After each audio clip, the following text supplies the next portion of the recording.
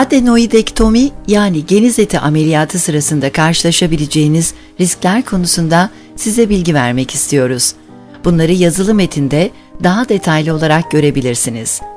Bu ameliyat sırasında ve sonrasında kimi istenmeyen durumlarla karşılaşılabilir. Bunlar, sık görülebilen durumlar, narkozdan uyanma sırasında huzursuzluk ve uyku hali, kısa süreli hafif bir yutkunma güçlüğü, çok büyük olan geniz etlerinin çıkarılmasından sonra geçici olarak burundan konuşma. Nadir görülebilen durumlar, dişlerin zarar görmesi hatta kaybı. Yeni bir ameliyatı gerektirebilecek geç kanamalar.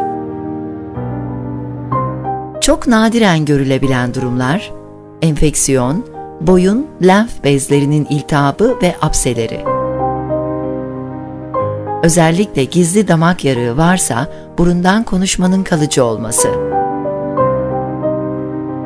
Anormal seyreden bir damar varlığında veya bilinmeyen pıhtılaşma bozukluğu gibi durumlarda görülebilen ve boynun dış kısmından ameliyat gerektirebilen şiddetli kanamalar. Kimi durumlarda kan nakli gereksinimi. Östaki borusu çevresinde nedbeleşme ve bunun sonucunda orta kulakta sıvı birikimi riski mevcuttur.